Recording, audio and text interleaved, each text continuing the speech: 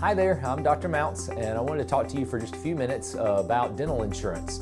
So, probably not the uh, most exciting topic for, uh, for some of you, uh, but for others, uh, you know, dental insurance is something that you have questions about. Uh, you know, maybe you have it, you get it through your company, and you're not really sure how those benefits help you, and you're not really sure what they're going to cover.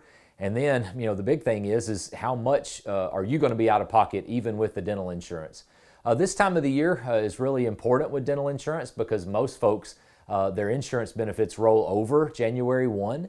And so if you have uh, benefits for this year and you don't use them, you actually just lose the money for that. So um, it's kind of a good thing to, uh, to get into your dental office, uh, have your teeth checked out, and see if there's anything that's kind of come up here toward the end of the year that could be fixed on this year's benefits. So that's one thing that most people don't really understand uh, with their uh, with their dental insurance. Um, but the other one really is, you know, how much is it going to cost me? And that's a sometimes a tricky thing. Uh, but I really feel like here at Mounts Dental Care, we go out of our way to help you uh, get a really, really good estimate so that you'll know uh, with a pretty close certainty on how much your, uh, your bill is going to be whenever we get done. So we're actually, we can be in contact with your insurance company for you. Uh, we can send in predeterminations if we need to to make sure that we know exactly how much they're going to do.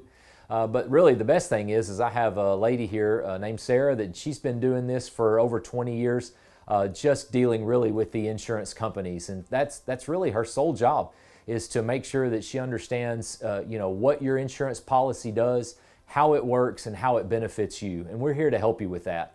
I'm not sure that a lot of other dental offices uh, do that kind of stuff for their patients, but we really try to go out of our way to help our folks know uh, how their uh, plan works for them.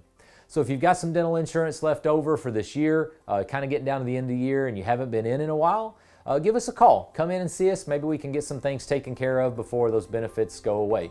Our number is 501 753 0166.